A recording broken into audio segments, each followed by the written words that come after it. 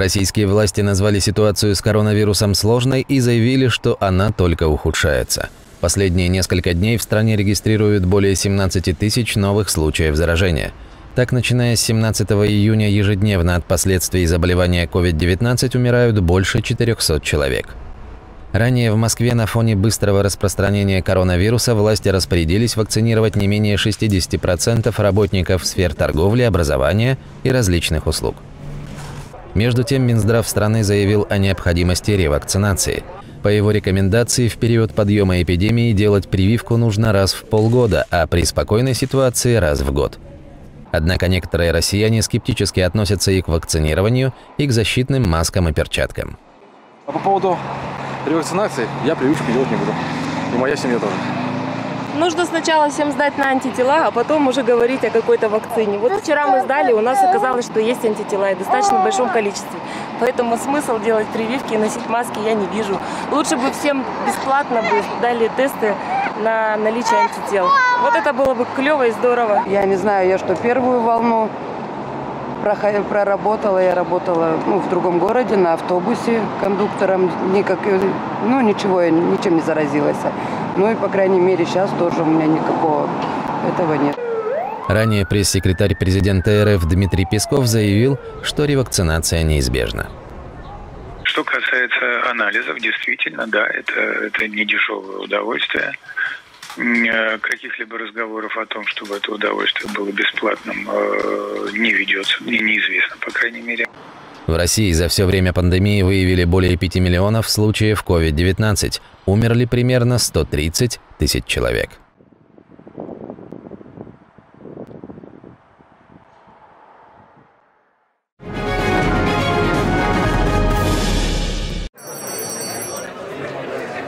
Европейский Союз согласовал дополнительные санкции в отношении Беларуси в ответ на вынужденную посадку самолета Ryanair в Минске в мае и арест оппозиционного журналиста Романа Протасевича и его девушки. Сегодня мы приняли в отношении Беларуси самый крупный пакет санкций, включающий 86 физических и юридических лиц, в частности тех, кто стоит за посадкой самолета с господином Протасевичем на борту. Эти меры были согласованы также с Канадой, Великобританией и США. Послы ЕС также подписали четвертый пакет мер по замораживанию активов – и запрету на поездки в ответ на подавление протестов после президентских выборов в Беларуси в прошлом году. Под меры подпадут более 70 белорусских граждан. Когда 23 мая посадили самолет Ryanair и арестовали Протасевича, этот четвертый пакет мер как раз был в разработке. Как ожидается, санкции будут направлены на фондовый рынок, нефтяной сектор, а также экспорт белорусских калийных удобрений. В целом, после недавних выборов в отношении Александра Лукашенко и других политиков введено около трех пакетов европейских санкций. Они в основном включают черные списки, которые запрещают официальным лицам выезжать в Европу и США и вести там бизнес. Лукашенко находится у власти с 1994 года. Он говорит, что арестованный журналист планировал его свергнуть, и что Запад ведет против него гибридную войну. Еще вопросы, коллеги?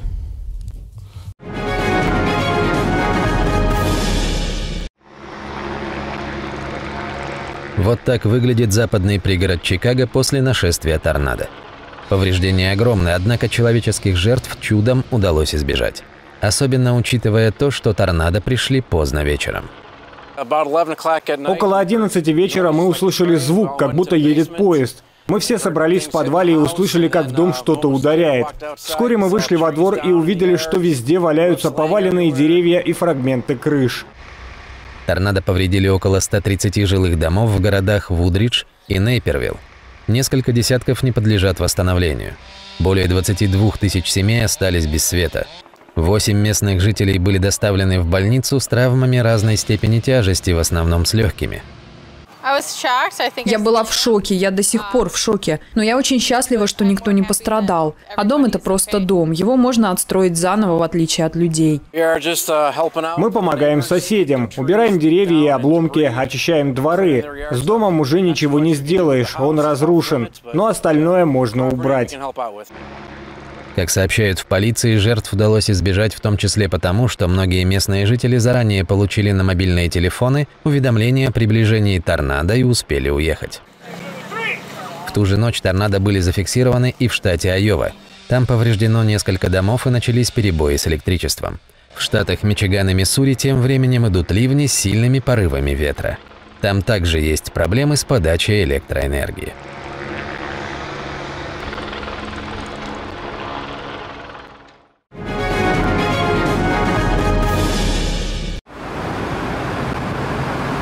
Тайваньские дипломаты начали покидать свое представительство в Гонконге.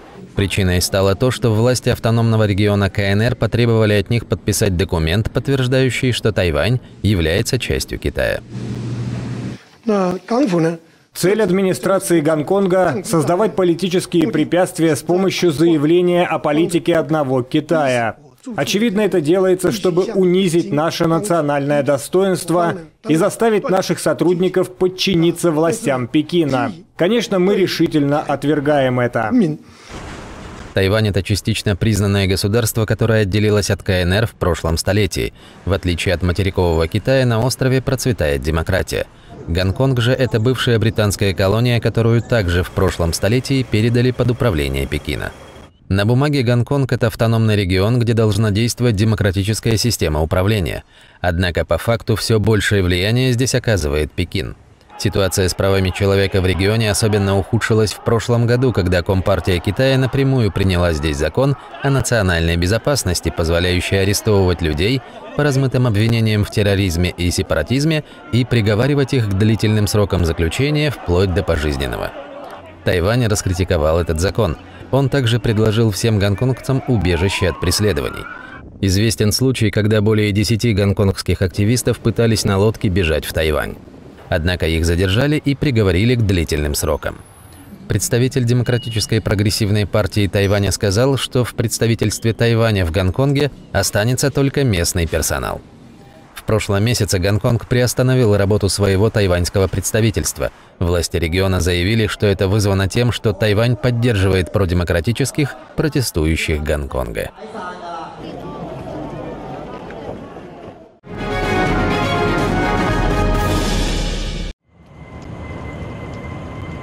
Это не совсем обычная крыша одного из лондонских банков – Здесь раскинулся специально созданный сад, а в нем собрано около 160 видов различных растений.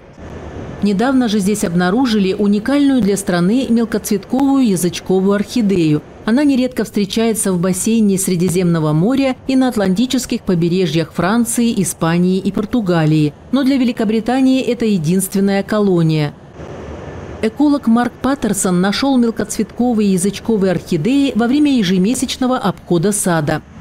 Я не совсем понимал, какой именно это сорт, предполагал только семейство. Просто мелкоцветные язычковые орхидеи довольно редки для Великобритании, поэтому я не сообщил об этом сразу же.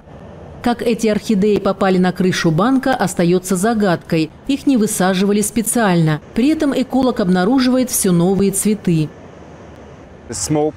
Это маленькое растение, на нем всего три или четыре цветка. Это, скорее всего, росток более крупного родительского растения, которое находится позади нас. То есть их семена распространяются и произрастают по всей крыше. Возможно, крошечные семена орхидеи попали сюда случайно с грунтом или их принес ветер. Эксперты считают вполне логичным то, что орхидеи обосновались на зеленой крыше. Язычковые орхидеи относительно сорные сорта, когда они находятся в подходящей среде. Будучи средиземноморским сортом, они любят жаркие сухие места у моря, каменистый рельеф и тому подобное.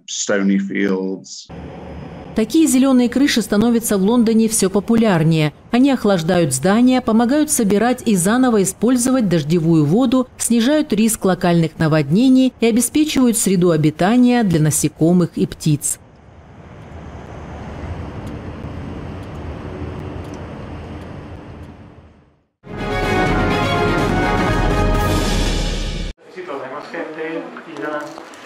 Испанский мальчик Хуан родился с увечной левой рукой, но теперь его жизнь изменится. У него есть 3D-печатный протез. Его подарил основатель благотворительной организации Гильермо Мартинес. Протез позволяет делать хватательные движения, и Хуан уже пробует освоить их технику. С протезом я смогу собирать игрушки, подушки и тому подобные вещи. Теперь, поднимая какие-то вещи, он будет чувствовать себя увереннее. Он и так пользовался этой рукой, но с протезом ему будет намного удобнее. Гильермо – бывший дизайнер игрушек. Сначала изготовление 3D-печатных протезов было для него просто увлечением. В 2017 году он поехал в Кению, чтобы передать протезы в детский дом. После этого изобретатель решил сделать хобби своей профессией. Пять протезов, которые я взял для пятерых человек, работали так идеально, что я спросил себя, что еще могу сделать. Организация делает протезы бесплатно для всех, кто об этом попросит. У нее есть представители в 50 странах. Ежегодно она дарит до 250 протезов. При этом передают их лично в руки заказчику.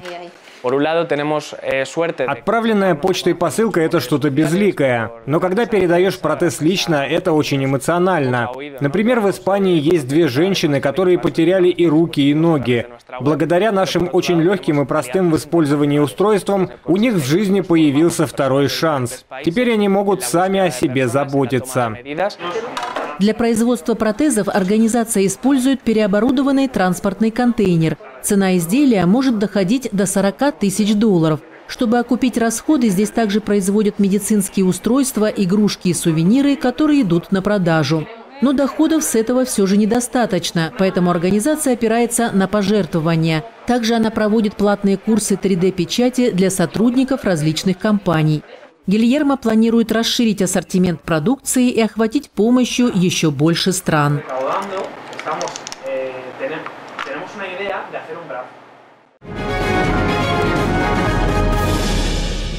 Как бы конечная цель нам надо Кыргызский предприниматель Адыл Гапаров вдохновился статьями в интернете и открыл сверчковую ферму. Сейчас у него примерно тонна насекомых. Основное направление предприятия – производство муки из сверчков. По словам Гапарова, мука на 70% состоит из белка. Также в ней есть микро- и макроэлементы. Ну, на данный момент мы ведем переговоры с несколькими компаниями, которые просят у нас объемы муки, которые мы сейчас не можем им обеспечить. Из этой муки они собираются производить э, батончики э, с высоким содержанием протеина для спортсменов, для тех, кто хочет э, похудеть. Наилучшие условия для сверчков – это температура выше 30 градусов и минимальная влажность. Кыргызстан в этом плане идеально подходит для разведения сверчков. Мы можем буквально во всех областях открывать подобные хозяйства с расчетом, чтобы на экспорт. Китай ежегодно потребляет 30 тысяч тонн насекомых. При этом производит только 20 тысяч тонн. Разведение сверчков – нелегкое дело. Обилие информации в интернете не помогает избежать неудач. Мы э, этим делом учимся, мы занимаемся этим через методом проб и ошибок. Буквально за полгода мы только три раза поколения за ночь потеряли. И специалисты в этой области просто-напросто у нас нету. Люди готовы помочь, но не знают как. Ферма продает муку из сверчков по 80 долларов за килограмм. Также здесь делают насекомых во фритюре с приправами.